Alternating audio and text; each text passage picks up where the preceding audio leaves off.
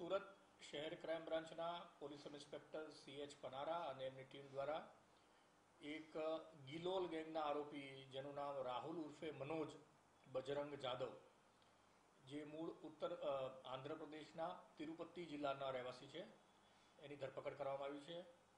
આજે રાહુલ ઉર્ફે મનોજ જાદવ જે છે, એ ગિલોલ ગેંગનો એક અગત્યનો સાગરિત છે. આ આરોપીઓની લગભગ પંદર, સત્તર જણાની ટોળકી છે અને એ અલગ અલગ વિસ્તારોમાં ફરી અને જ્યાં કાર પાર્ક કરેલી હોય, એ બંધ કારમાં જ્યારે કોઈ માણસ હાજર ન હોય, ત્યારે ગિલોલથી કાચ તોડી અને એ કાચ તોડ્યા પછી અંદર રાખવામાં આવેલો સાધન સામગ્રીની ચોરી કરવાની ટેવ ધરાવે છે.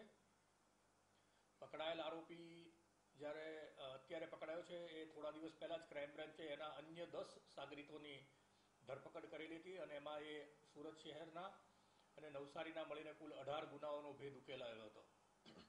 એટલે હાલમાં જે પકડાયેલો આરોપી રાહુલ ઉર્ફે મનોજ જે છે, એ પણ અઢાર ગુનાની અંદર વોન્ટેડ હતો.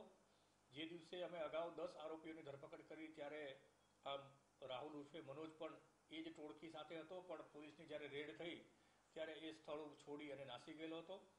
મોટાભાગનો સમય એ ઉમર ગામની અંદર રેલવે સ્ટેશનની આજુબાજુમાં પડાવમાં રહે છે.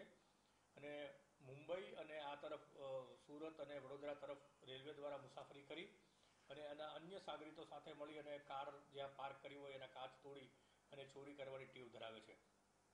આરોપી જે પકડાયો છે એ અગાઉ પણ સુરત શહેરની અંદર સાત ગુનાઓની અંદર પકડાઈ ચૂકેલો છે અને આ સિવાય પણ રાજ્યમાં અને આંતરરાજ્ય બીજા રાજ્યોમાં પણ આ ટોળકી આ પ્રકારના ગુના કરવાના પકડાય હોય, ચૂકવા, ચૂકાયા હોવાના રેકોર્ડ્સ મળ્યા છે.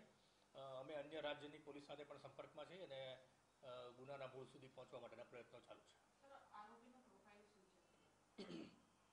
આ રાહુલ ઉર્ફે મનોજ જે છે એ આ ગિલોલ ગેંગનો ખૂબ અગત્યનો સાગરીત છે.